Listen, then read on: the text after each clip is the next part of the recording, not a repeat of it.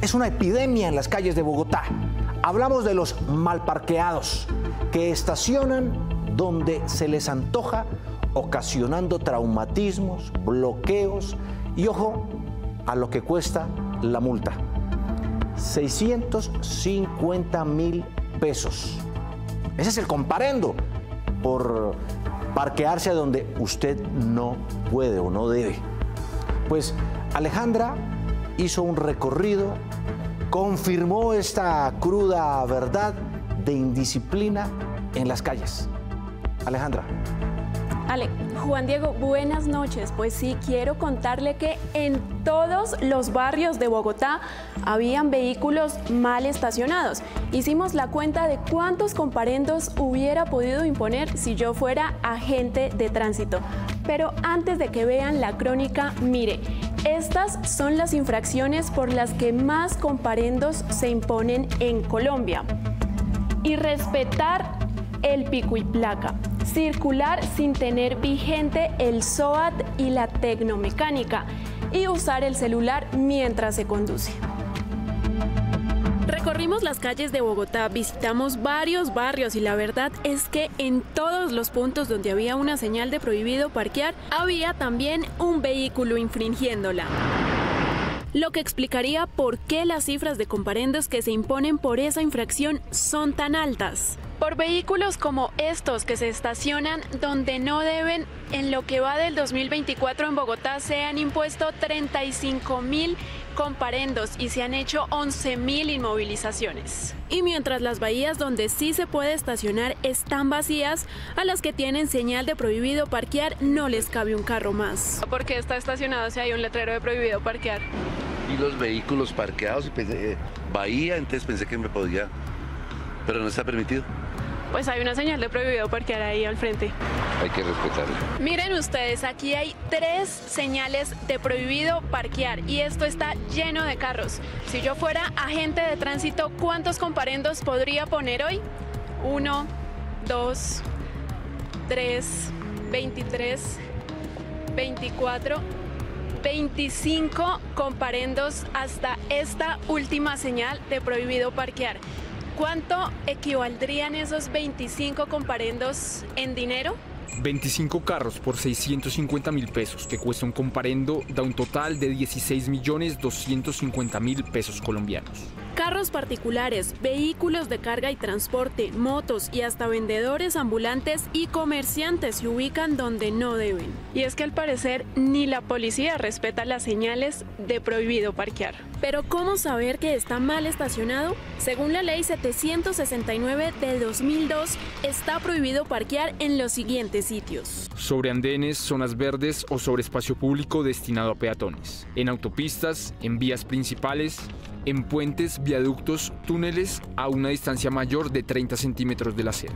Durante mi recorrido pude ver diferentes señales en pésimo estado y aunque sé que nos falta cultura ciudadana, vale la pena preguntarse si se ha hecho bien la pedagogía y mantenimiento de las señales de tránsito. Hay mucho que hacer en ese tema, ¿cierto? De organizar debidamente los símbolos, las imágenes, la señalización, eh, los significados que se le da a eso. Y listo, le apostamos toda la cultura. Julio de 2024, según la Fiscalía General de la Nación, en el país se registraron más de 140 mil denuncias de mujeres por algún tipo de violencia. Lo más preocupante es que muchos de esos incidentes prácticamente constituían intentos o amenazas de homicidio, de asesinato. Héctor Sarasti nos trae la reconstrucción de una escena e historia impresionante ocurrida hace a duras penas unas horas en Bogotá, en el sur. Un patrullero de la policía que llegó hasta un motel, le disparó a quien fuera su compañera y aparentemente a su amante. La pareja sobrevivió, pero después el uniformado se suicidó. Juan Diego, buenas noches. Pues entrevistamos en exclusiva a una persona, una amiga de infancia del policía, a dos compañeros de trabajo de él e hicimos un perfil del uniformado. La mujer dijo, la mujer de esta persona dijo que él era obsesivo. Esta en la historia.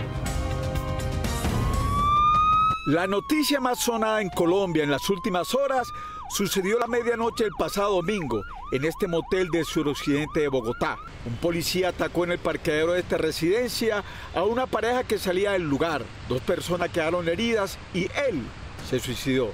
Al parecer, se trató de un hecho pasional. Para conocer detalles inéditos y reconstruir el hecho, me vine para el suroccidente de Bogotá, a la mismísima zona de moteles del barrio Kennedy, donde tuvo lugar el fatal desenlace de esta dramática historia. Decían que están rondando como desde las 10 de la noche. ¿Y el asunto acontece a qué horas? Casi a las 12. Ellos iban saliendo porque el suceso fue en el estacionamiento. Este es exactamente el sitio donde suceden los hechos.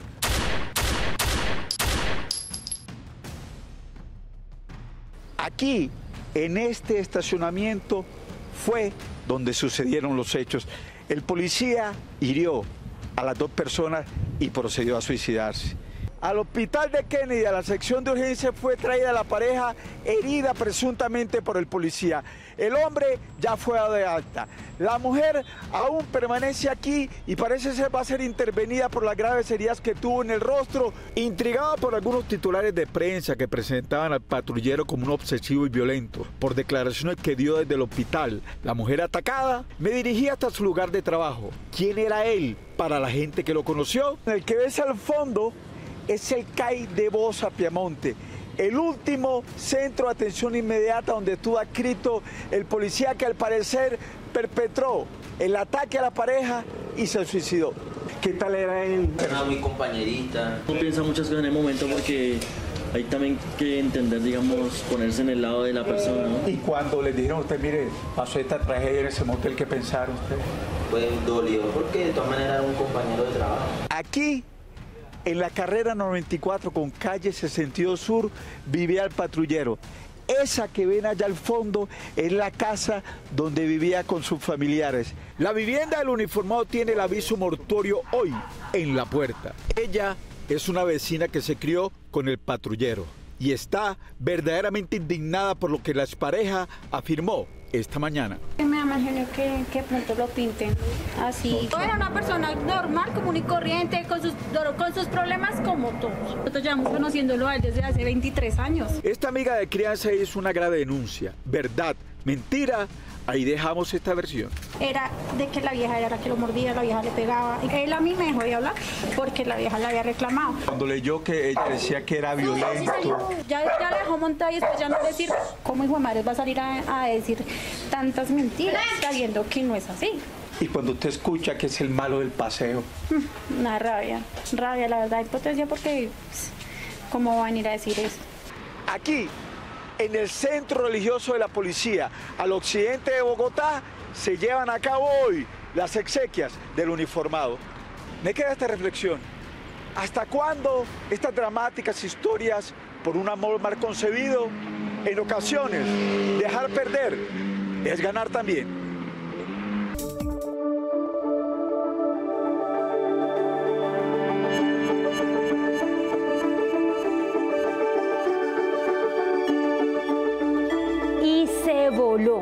Así como ustedes están viendo.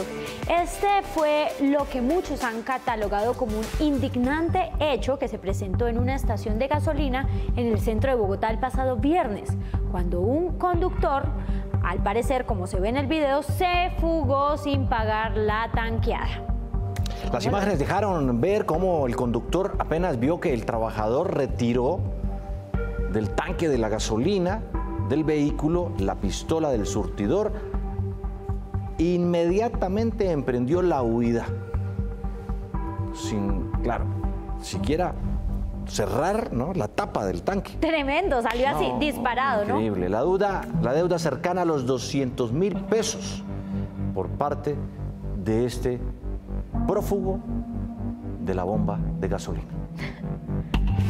Y cambiamos de tema, un homenaje por lo alto. Así fue el gran reconocimiento que el famoso edificio Empire State en Nueva York le hizo al fallecido actor James Earl Jones, que murió el día de ayer a sus 93 años de edad. En la fachada del icónico edificio se pudo observar escenas que hacen referencia a la famosa saga de Star Wars, específicamente al villano Darth Vader, personaje a quien dio vida durante las nueve películas desde 1977, un actor también muy recordado por darle la voz a Mufasa en la famosa película de Disney El Rey León. Impresionante.